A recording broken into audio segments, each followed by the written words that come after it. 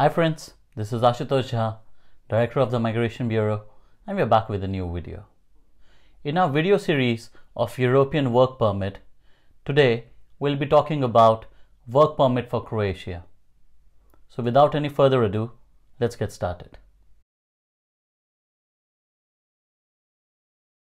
As a member of the European Union experiencing growth and economic stability, Croatia is a great place for companies and workers. If you are planning to move to Croatia for work, you need to make sure that you get your work visa in place. Without these visas in place, you could face fines or delays due to non-compliance. People planning to work in Croatia will need a work permit and a residence permit. As Croatia is part of the European Union, most of the European Union citizens can work and live in Croatia without the need of a visa. If you are from outside of EU, then you will need to apply for a work permit through your local Republic of Croatia diplomatic mission. Most Croatian work permits and residence permits are valid for 12 months. However, Croatia does allow the applicants to apply and extend their work permits or residence permits 60 days prior to the expiration of their visa or the residence cards in order to stay and work in the country. Croatia is also part of the EU Blue Card network, which could help third country nationals as the Blue Card is valid for two years. While the work and residence permit combination may be the most common way for the employees to receive their work visas in Croatia, some may be eligible for work registration certificate. These certificates are typically for performers, journalists, and member of the religious orders. Croatia uses a quota system for work and residence permits. That means an applicant will only receive a work permit if the country is below its quota, even if the individual meets all the criterias. Occasionally, the country offers work permits to applicants even after reaching the limit. However, the applicant has to prove their suitability to the role and explain why could it not be filled locally. All applicants need certain documents, including a copy of their passport, a passport size photo, proof of their ability to support themselves while in Croatia, evidence of health insurance, an employment contract, proof of academic qualifications and skills, and lastly, evidence of their company's registration.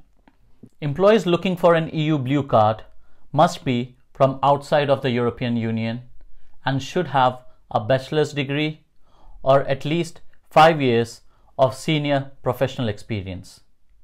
They should also have a binding job contract or an active work contract.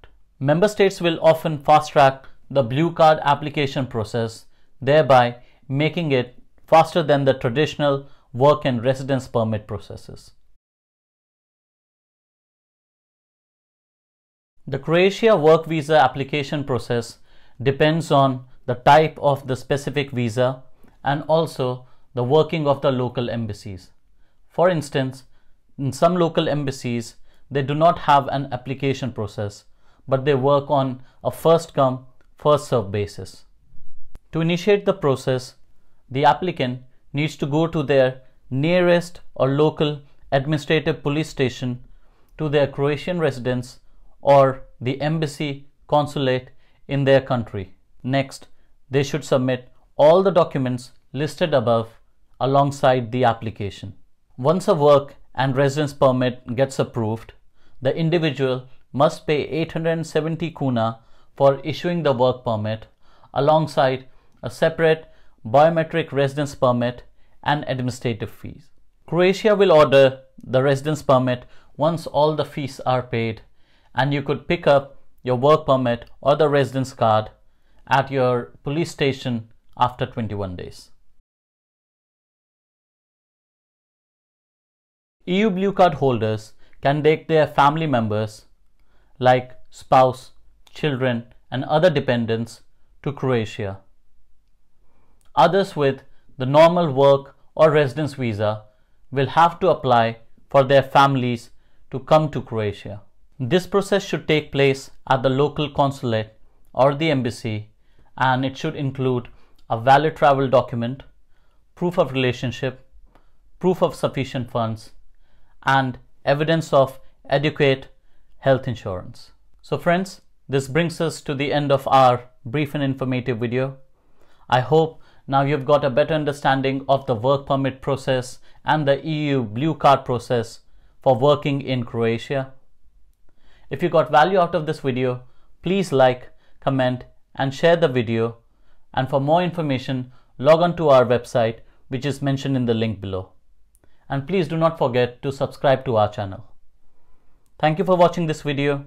This is Ashutosh Jha, Director of the Migration Bureau, signing off. Until next time.